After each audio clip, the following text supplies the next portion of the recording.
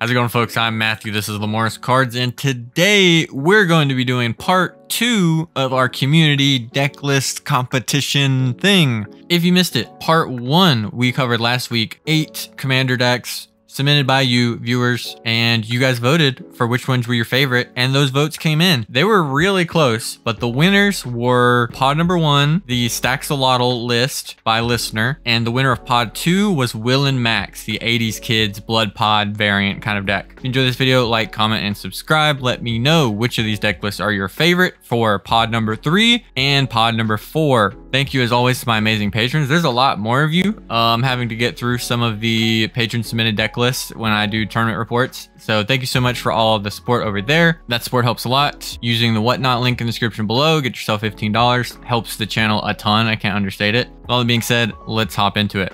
Use the link in the description below to download Whatnot and you'll get $15 to use to buy Magic singles, sealed product, get anything that you want really. There's no limits. You just get $15 on the account for free just for signing up. This is one of the best ways you can support the channel. And again, it's just free stuff. Use the link in the description below. Give Whatnot a try. This might be the most typical commander pairing I've done. Akiri Thrasios has kind of overtaken Bruse Thrasios in that archetype, but it has a really different approach, and I still wanted to really highlight it. So this is a. Instead of being a Thrasios deck, it's really an Akiri deck which Akiri can actually be pretty good on the board. It, it's a first strike vigilance, gets plus one attack for each artifact you control. And yeah, we've got some artifacts to buff it cheaply. We've got Ornithopter, Esper Sentinel, doing like Magda, Ornithopter of Paradise, Academy Manufactor. Like we're doing like Dockside treasure loops with Emil. We have access to that kind of stuff. And then we're running like Staxy effects like Thalia, Aven Mindcensor. And then we're locking people down a little bit. Lodestone Golem's kind of the same thing. And it's a 5-3 and it's an artifact. And then Slicer in the list, just coming at you, beating people down, like really pressuring the life totals. You know, sort of generically powerful cards like Gilded Drake or, you know, here, like kind of mid-rangey cards we're even running like Llanowar Elves over Birds of Paradise just to have a 1-1, I'm guessing. That's really the only reason you would do that in this deck list. At least from what I can see. Pretty wild stuff just in the creature package of a really interesting approach like, you know, using Facebreaker, really pressuring life totals, being a little bit stacksy. In the sorceries, kind of typical stuff. We do have Savine Direct, meaning we're more likely on Breach. We'll see. Jeska's Will not a card you always see here, but I mean, we we have two cheap commanders, so whatever. No wheel over the Windfall String, but then we got Spinning Wheel Kick.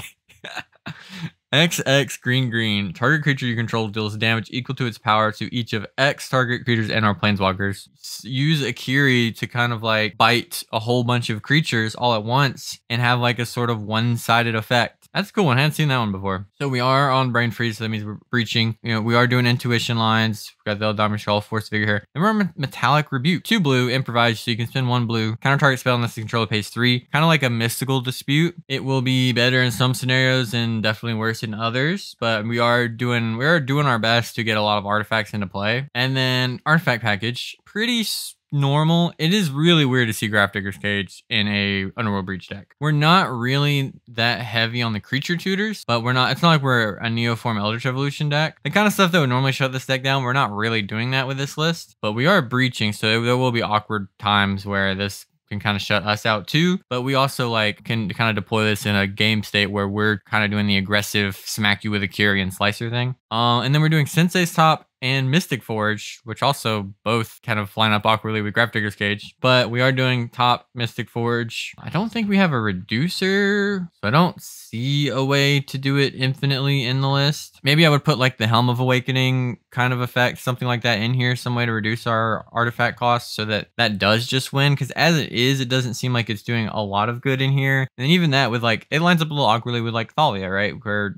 our it works on us too so like we're not really going to be able to do that loop. So maybe we don't quite need that. I do think it's an interesting direction to go and then our enchantment package is pretty typical. I think if we're going to be on like a top kind of thing in this deck maybe counterbalance is something to consider too. I think we're doing all art we're doing artifact lands too right? Yeah we have the ancient den we have the seat of the synod we have treasure vault tree of tales do an Urza saga. Very cool approach. I would maybe you don't I don't think you have to lean as far away as this list maybe does. You could maybe still do like Kinnan Basalt. Seems to line up perfectly well with what you're doing. Swap out like a dork for um Birds of Paradise. Ornithopter is maybe a little cutesy, unless I'm just missing a line, but I don't. There's a couple of things I would I would probably address with it, but it looks really cool, and I really wanted to highlight this kind of archetype of making an aggro mid-range like Akiri Thrasios deck Connor cEDH's Da Vinci stacks running Leonardo da Vinci as our commander. So Leonardo da Vinci is two in a blue, three blue blue until end of turn. Thopters you control have base power and toughness XX, where X is the number of cards in your hand. And you can spend two in a blue, draw a card, then discard a card. If the discarded card was an artifact, exile it from your graveyard. If you do, create a token that's a copy of it, except it's a 0-2 Thopter artifact creature with flying in addition to its other types. This is brand new, so uh, we're going to be learning in real time how exactly it works. Not a lot of creatures. Phyrexian Revoker, just a cEDH card at this point, maybe a little bit weaker in a Bowmaster's meta. Metal Worker, very powerful card. We're running a lot of artifacts. This thing can make us a million mana. Filigree Sages, two in a blue, untapped target artifact. I bet that combos with something. Metamorph Subtlety, Kuldotha, the Forge Master, sack three artifacts, search library for an artifact, put it into the battlefield. We're gonna have a lot of artifacts. We, we can we can probably do something crazy here. Auton Soldier, uh, we talked about this one. It's a six mana clone that isn't legendary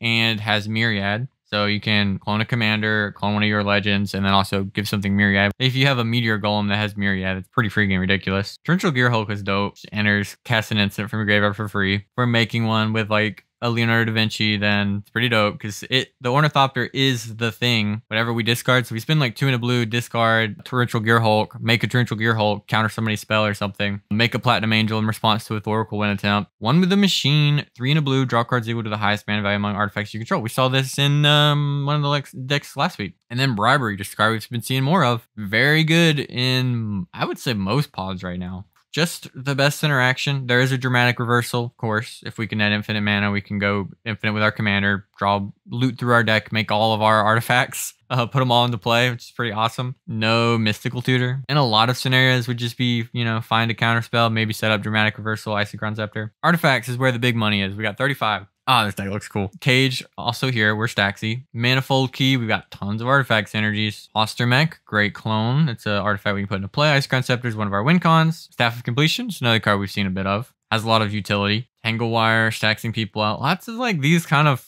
things got submitted for this tournament. Uh, there's no Winter Orb here. Thousand Year Elixir, Machine God's Effigy, another clone that's an artifact. Almer, whatever this archive. If you would gain life, you gain twice that much life. If you would draw a card except the first one, you draw in each of your draw steps, draw two instead. Uh, this means we go card positive with our Leonardo da Vinci, which is pretty sick. Caged Sun. So we just pick blue, our creatures get bigger. We get double mana. Think of these through the lens of we have a commander that can spend three mana and put any of these into play. So we can spend three mana and we get a God Pharaoh statue. Your spell costs two more. Magic Mirror into play. Portal to Phyrexia, especially. Like people be like, bro, how do I lose at this point? And then just three mana, loot. Uh, Portal to Phyrexia. Any response? No.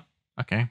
Dork. Wonders Crucible. Permanent control have ward 2 at the beginning of your instep. Mill 2 cards and exile an online card at random from your graveyard copy. You may cast without paying its mana cost. No like Camille here. Oh, a Chroma's Memorial. That's pretty cool. What's really cool about Leonardo da Vinci is he has like a powerful kind of broken aspect to it of just get ridiculous things into play very cheaply. And then also has just built in the how to close out a game where no one can do anything. You just make a bunch of, you know, your Thopters just become massive and smack into people. Enchantments, back to basics, basically free here. Rhystic Study, Mystic Remora. Yeah, I think this deck is awesome. I'm really curious to see how this commander plays out. I think this is to be a super fun one to play with.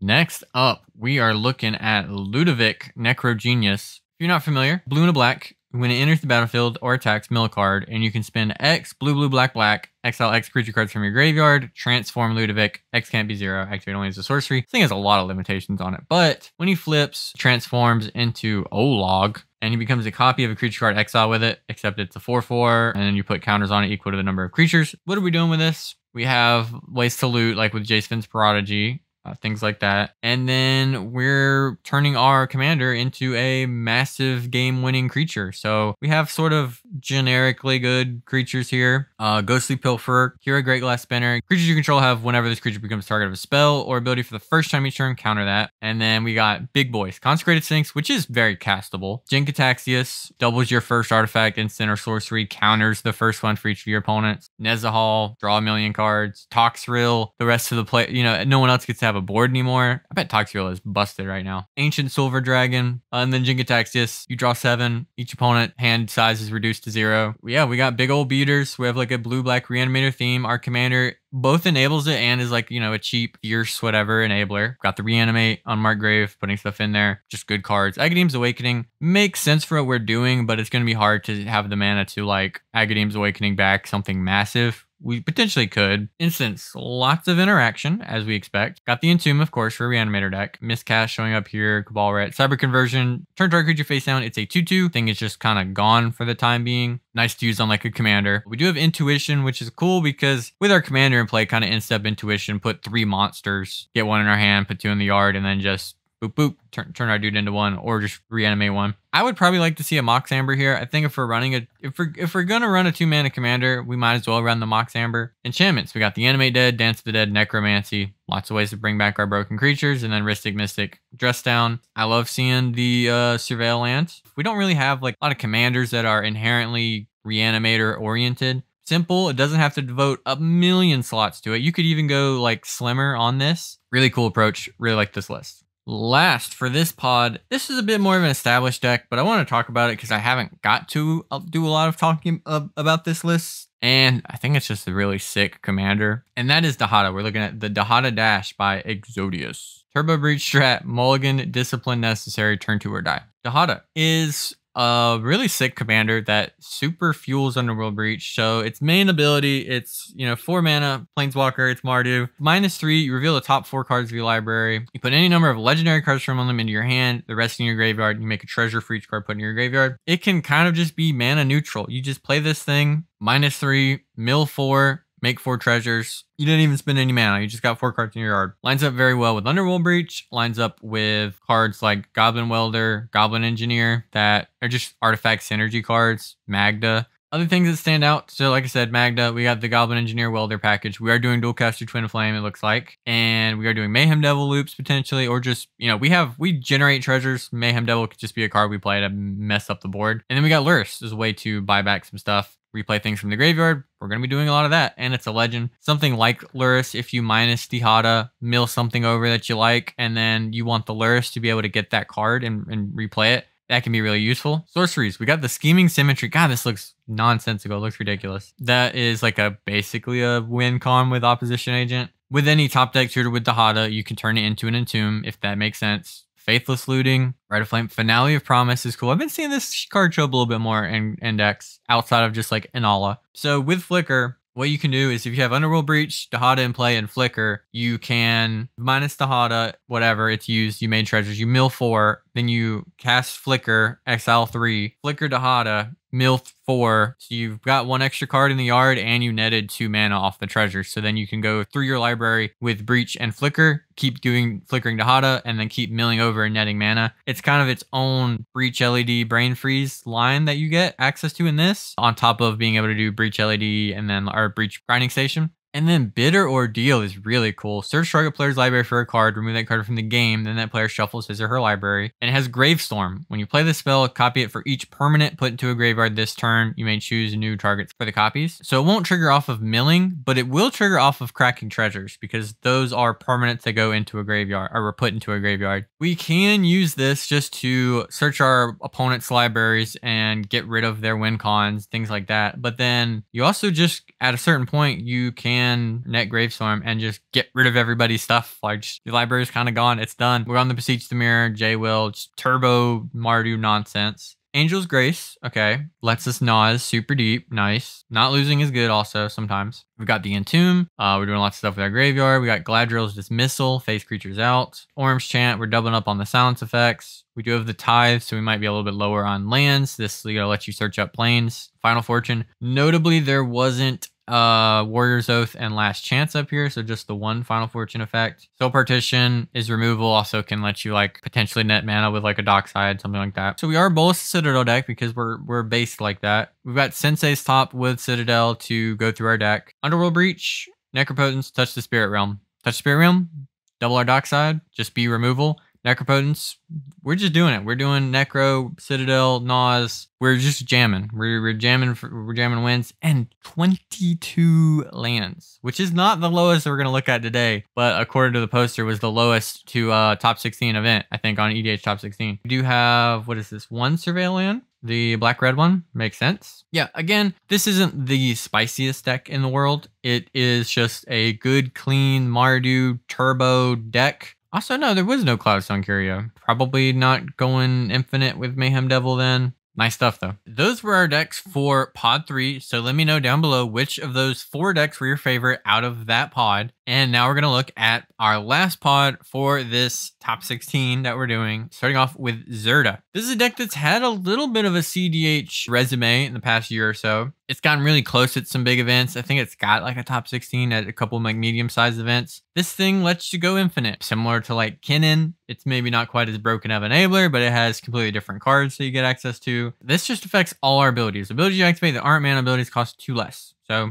lots of different things we can do. Walking Ballista is going to be an outlet for us. Squirrels can give us protection. So we're going to have white and red staples. I don't want to say Boros staples. We don't really cover Boros very often. So we do run some stacks pieces. We have Aethersworn Canonist, so no more than two non-artifacts. Spirit of the Labyrinth, players can't draw more cards. Oswald, we've seen this one tutor up for artifacts. It's going to be super important in this deck that combos with lots of different artifacts. Zirda can go infinite with Basalt Monolith and Grim Monolith to net infinite colorless mana. And then we have different places we can use that. We can use that on Balls and Invoker. I think it's Balls. Spend 8 mana, deal 4 to each opponent. You have infinite mana, your opponents are dead. Cogwork Assembler, create a token that's a copy of target artifact. Target Artifact gains that token gains haste. Exile at the beginning of the next end step. We have an artifact creature like this guy. Get to make infinite hasty creatures and smack our opponents. Valakut Invoker is another outlet to dump into to deal mana. So we have at least four outlets just here uh, in the creature package to be able to kill people. Ooh, that's another, that's a cool one. Forth Eorlingas, Cube, and Legacy staple showing up here. That That's, you make infinite tutus. That's another way to win. That's really cool. Tutors, Wheel, Savine's Wreck, J Will, stuff we'd expect. Instance, we got the Angel's Grace. This card is just back to cEDH staple status, I think, at this point. Mana Tithe showing up. No Tybalt's Trickery, nothing like that. We do have the Reprieve. Uh, Ricochet Trap lets us change target. Maybe expect to see like an Orim's Chant or like Tybalt's Trickery, like I had said. Artifacts, whole bunch of them. Grim Monolith and Basalt Monolith both go infinite with Zirda. Candelabra of Tawnos is X untap X separate lands. That can be reduced down. X equals three. You can spend one mana to untap three lands. Pretty nifty, huh? Dino DNA. We can go infinite with that. We reduce it down. It makes it easier to like net infinite mana with like a Dockside or with a Dino DNA or something like that. Fence Scraper Texas. Moon Key help us tutor up for one of our combo pieces. Scroll Rack gives us some card selection. Thorn of Amethyst locks people down. Grinding Station, I'm guessing we're Breach deck. We are. Which could line up awkward. I see the Deafening Silence down there. That could line up awkwardly with like a Breach loop. Brass's Tunnel Grinder, which we've seen this one before. Enters discarding number of cards, draw that many cards. Give you some card selection. At the end of the turn, if you descend it, put a board counter on it. Trinisphere, locking people out. Staff of Domination is really cool. You can spend, reduce the cost on these. And then enchantments. We have Deafening Silence, which again is usually going to be good for us, I think, but can be awkward if we're doing like a breach loop. Meticulous excavation that can let us go infinite with dockside extortionist. Can do other things with it, but it seems like it was mainly for. We've got the breach, touch the spirit realm, smothering tithe, trouble in pairs, which apparently was plagiarized art.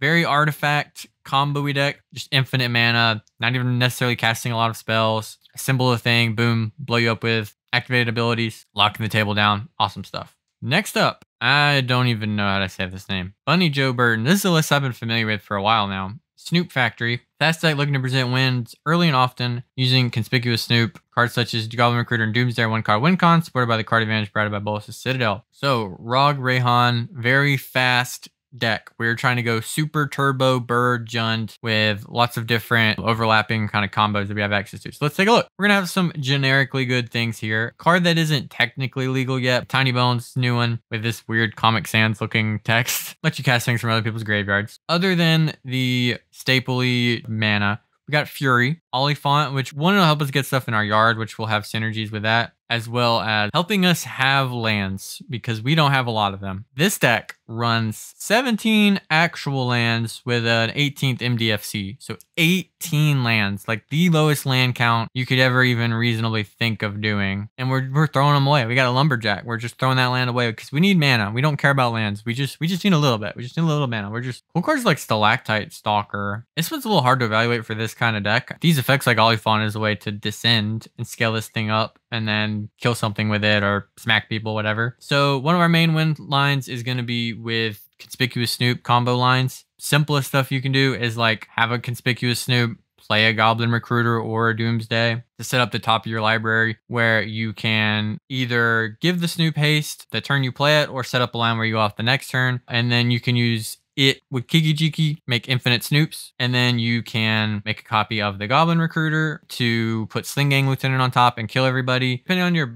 how you're trying to set up and how you're trying to win through interaction, you can do cool things like that. You can get into spots where you're going for other win attempts and you're able to put like a Vexing Shusher on top, protect your win attempts. These can be really resilient and hard to deal with. You can do it again with Skirk Prospector, Net Mana. Once they get started, once they get that first Goblin Recruiter, it can be really difficult to interact with them. And then, yeah, other tutors, Fiend Artisan, Hyrax Tower Scout can just go infinite with their Kiki Jiki. Lots of mana. We got Land Grant to help us go get a land because Lord knows we need the help. Analyze the Pollen is a new one that has made the kind of like collect evidence, descend part of the deck have a better payoff. You have something similar in Traverse the Ulvenwald. Basically, both of these, once enabled, let you search for a creature or land. We've got Doomsday, which again, we can use to set up those like Snoop lines. All, all the cards will either find us way to win or find us way to make mana to, to find way to make win. Lots of free interaction. Once upon a time, we need to find them lands. And then once upon a time is definitely castable as just a thing you can do in this deck, right? Uh, you could even have a situation where you like Goblin Recruiter once upon a cast once upon a time to get one of the goblins you recruited. Kind of weird, but I mean, it's a thing you could do, I guess. Guttural response, way to interact in Gruul colors. Uh, Archdruid's Charm lets us find a land, lets you just search for a creature, put it in a hand. Like this is just a super powerful card. Aether Vial lets us put creatures into play. That can be really busted. We've talked about this card before. Dowsing Dagger is one I haven't really got to talk about, I don't think. But yeah, when it enters the battlefield, you choose an opponent. They make two zero two plants, and then the creature you have, you hit somebody with it, it transforms, and then you get a land that adds three mana of any one color to your mana pool. It's pretty powerful. This is a card that I know Sam Black talked about in Rog Thrass at one point. I think it's since cut. Our Citadel, our One Ring. The one thing that will stand out about this deck compared to other turbo black red whatever decks is there's no underworld breach not here and then the lands there aren't many of them our citadel if you hit like two lands in a row off Citadel, God hates you. That's all I can say. and then we have the attraction deck and the sticker sheets, though currently not using any attraction or sticker cards. Very cool deck, very unique, very burr all in. Sick stuff. I mean, just just doing it with goblins.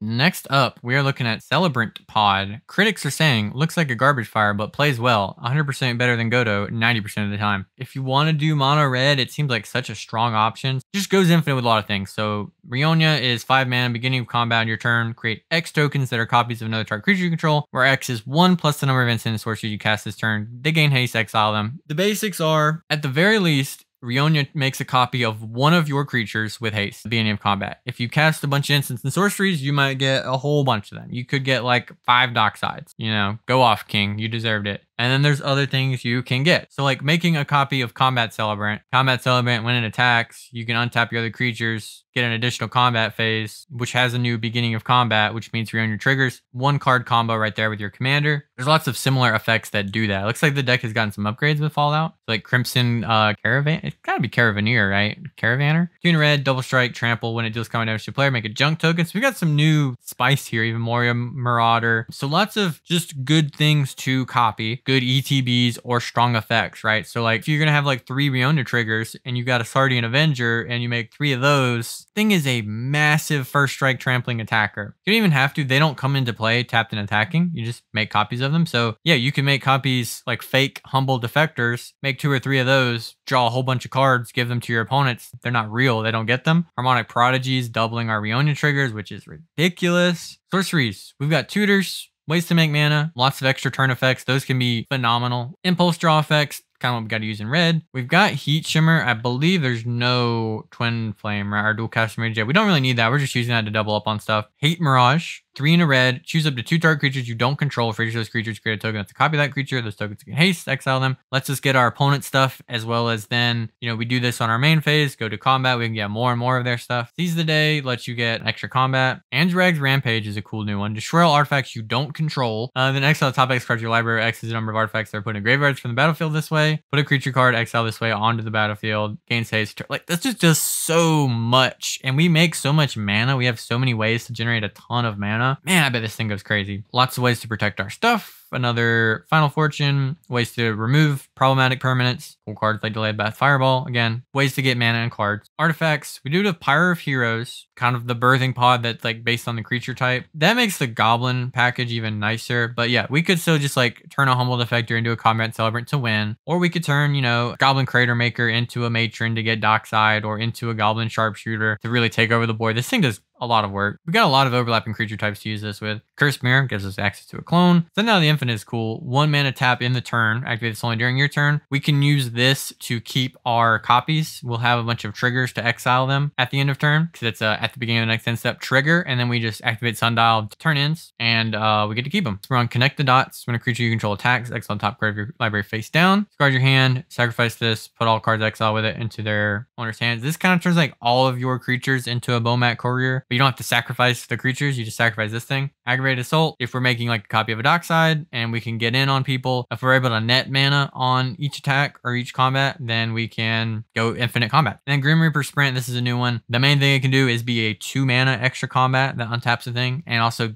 is a haste enabler. Rocking like all of the soul lands. That's cool. This is cool. I think if you want to play mono red, I would probably be more likely to point you here than Godo. Not that it necessarily has a better like track record or is more proven. Like this has a lot going on for it and like could be built in a lot of different ways. I don't know. It just seems like a cool deck to me.